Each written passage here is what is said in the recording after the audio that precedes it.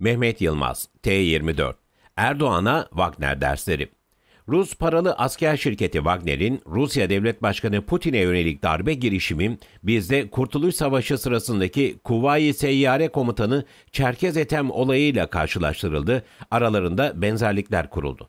Kuşkusuz ki böyle bir benzerlik var ancak bu benzerlik Erdoğan'ın Rusya'daki darbe girişiminden kendisine dersler çıkarmasına engel olmamalı.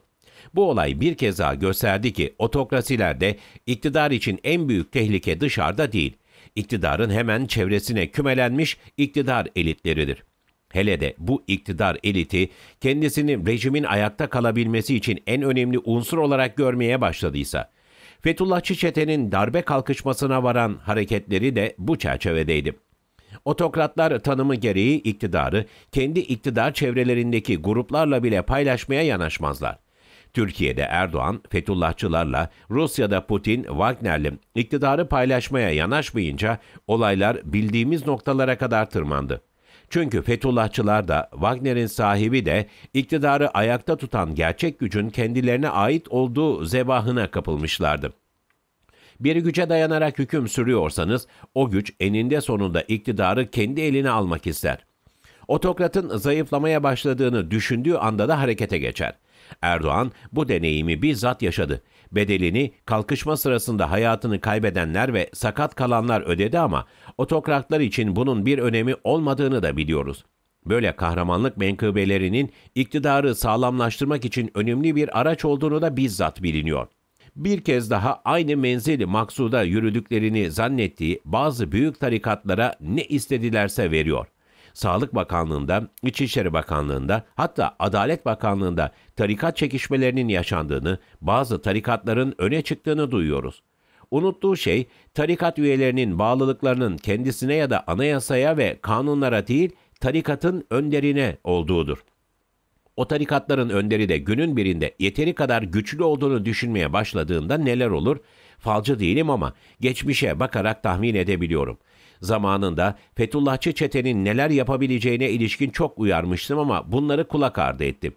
Biliyorum ki yine aynı şey olacak. Bu uyarılara pabuç bırakmayacak. Çünkü Erdoğan da siyasi tarihteki tüm benzerleri gibi kendi gücüne aşık.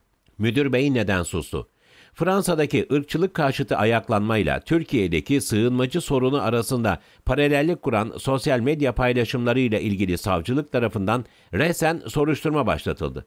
Soruşturmayla ilgili haberlerin yayınlandığı günün gecesinde ise Dilovası'nda Suriyeli göçmenlerle yerli halk arasında yaşanan gerilim gece boyu süren olaylara yol açtı. Bu şaşırtıcı bir gelişme değil. Devleti yönetenler istedikleri kadar ensar muhacir muhabbeti yapsınlar, kontrolsüz gelişen ve hala arkası kesilmeyen sığınmacı göçü Türkiye için ciddi bir güvenlik sorunu oluşturacak.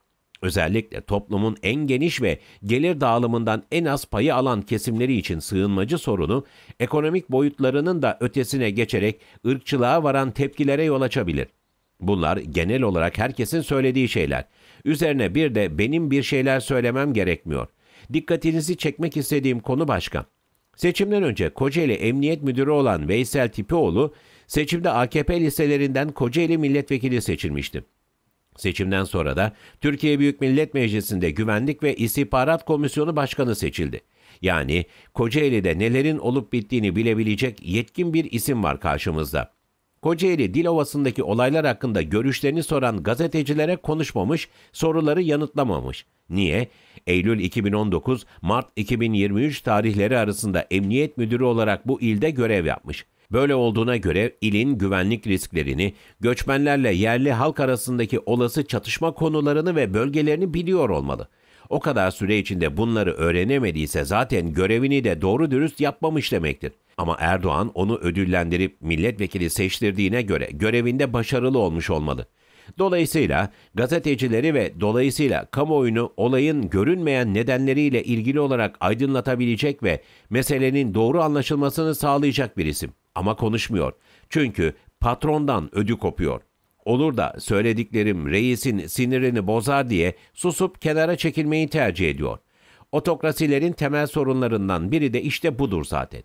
En bilgililerin bile susup bir kenara çekilerek yukarıdan gelecek bir işareti beklemeleri. Abone olmayı ve bildirimleri açmayı unutmayın.